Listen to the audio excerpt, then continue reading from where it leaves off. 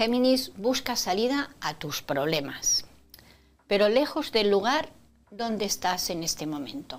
¿vale? Búscalos fuera de, tu entorno. Quizás estás demasiado cerrado o cerrada y necesitas abrir ah, un poquitín tus miras para encontrar esta salida a tus problemas que en estos momentos mm, te acucian demasiado.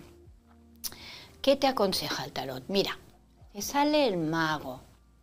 Por lo tanto, te aconseja que no te preocupes, que tú puedes con todo. El mago es el que tiene en sus manos el poder de hacer magia, o sea, de conseguir lo que se proponga.